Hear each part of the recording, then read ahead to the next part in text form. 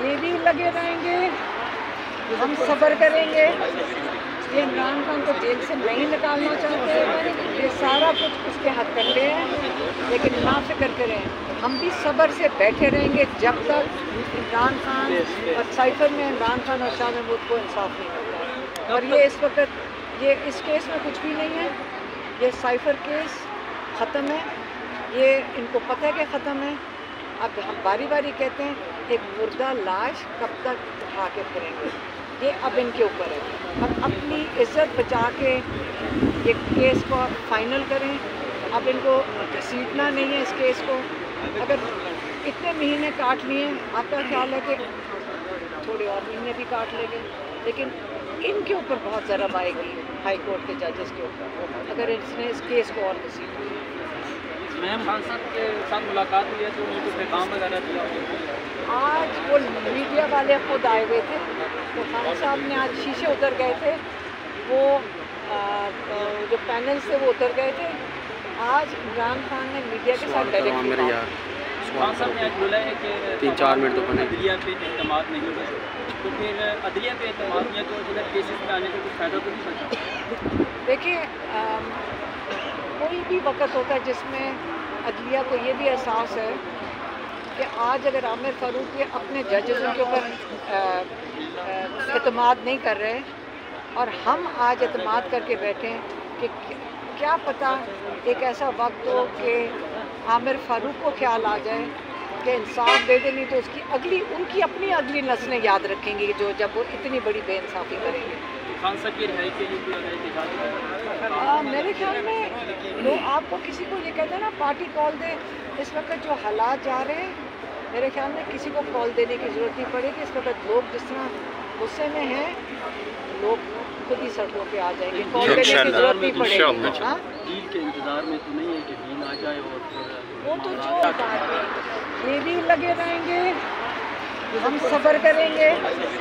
یہ عمران خان کو جیل سے نہیں نکالنا چاہتے۔ یہ سارا کچھ اس کے ہاتھ کر لے ہیں۔ لیکن نہ فکر کریں ہم بھی صبر سے بیٹھے رہیں گے۔ جب تک عمران خان اور سائفر میں عمران خان اور شاہ محمود کو انصاف نہیں ملتا۔ اور یہ اس وقت یہ اس کیس میں کچھ بھی نہیں ہے. یہ سائفر کیس ختم ہے. یہ ان کو پتہ ہے کہ ختم ہے. اب ہم باری باری کہتے ہیں ایک مردہ لاش کب تک اٹھا کے پھریں گے. یہ اب ان کے اوپر ہے.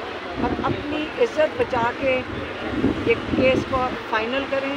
اب ان کو گھسیٹنا نہیں ہے اس کیس کو. اگر اتنے مہینے کاٹ لیے، آپ کا خیال ہے کہ تھوڑے اور مہینے بھی کاٹ لیں گے. لیکن ان کے اوپر بہت ضرب آئے گی ہائی کورٹ کے ججز کے اوپر۔ اگر اس نے اس کیس کو اور لیا میم خان صاحب کے ساتھ ملاقات ہوئی ہے تو ان کو پیغام وغیرہ دیا آج وہ میڈیا والے خود آئے ہوئے تھے۔ تو خان صاحب نے آج شیشے اتر گئے تھے۔ وہ جو پینل سے وہ اتر گئے تھے۔ آج عمران خان نے میڈیا کے ساتھ ڈائریکٹلی تین چار منٹ تو بنے عدلیہ پہ اعتماد نہیں ہے تو پھر عدلیہ پہ اعتماد نہیں ہے تو جدھر کیسز میں آنے سے کچھ فائدہ تو نہیں سکتا دیکھیے آم، کوئی بھی وقت ہوتا ہے جس میں عدلیہ کو یہ بھی احساس ہے کہ آج اگر عامر فاروق یہ اپنے ججز کے اوپر اعتماد نہیں کر رہے اور ہم آج اعتماد کر کے بیٹھیں کہ کیا پتہ ایک ایسا وقت ہو کہ عامر فاروق کو خیال آ جائے کہ انصاف دے نہیں تو اس کی اگلی ان کی اپنی اگلی نسلیں یاد رکھیں گی جو جب وہ اتنی بڑی بے انصافی کریں گے۔ میرے خیال میں لوگ آپ کو کسی کو یہ کہتے ہیں نا پارٹی کال دے اس وقت جو حالات جا رہے ہیں میرے خیال میں کسی کو کال دینے کی ضرورت نہیں پڑے گی۔ اس وقت لوگ جس طرح غصے میں ہیں لوگ خود ہی سڑکوں پہ آ جائیں گے۔ کال دینے کی ضرورت نہیں پڑے گی۔ ہاں؟ ڈیل کے انتظار میں تو نہیں ہے کہ وہ تو جو ڈیل آفر کر رہے ہیں وہ انتظار میں ہے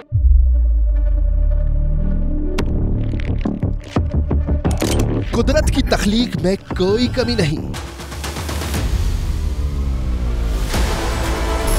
بس دیکھنے والی نظر چاہیے۔ قدرت کے بنائے اس نظام میں کون ہے فسادی اور کون کر رہا ہے حق کی منادی؟ Absolutely not. قدرت کی سب پر نظر ہے۔ مظلوم کی آہ ہو یا سالم بے پردہ قدرت کی نظر سے اوجھل نہیں۔ قدرت کا ایسا ہی ایک شاہکار ہے جو نظر بھی رکھتا ہے اور پل پل کی خبر بھی۔ براہ راست جلسے ہو یا رکھنی ہو پاکستان سمیت دنیا بھر کی خبروں پر نظر تو ابھی سبسکرائب کریں یوٹیوب پر ڈیلی قدرت کو یا پھر فالو کریں سوشل میڈیا پر ڈیلی قدرت کو اور رہیں ہر لمحہ باخبر۔ قدرت ہر وقت، بر وقت۔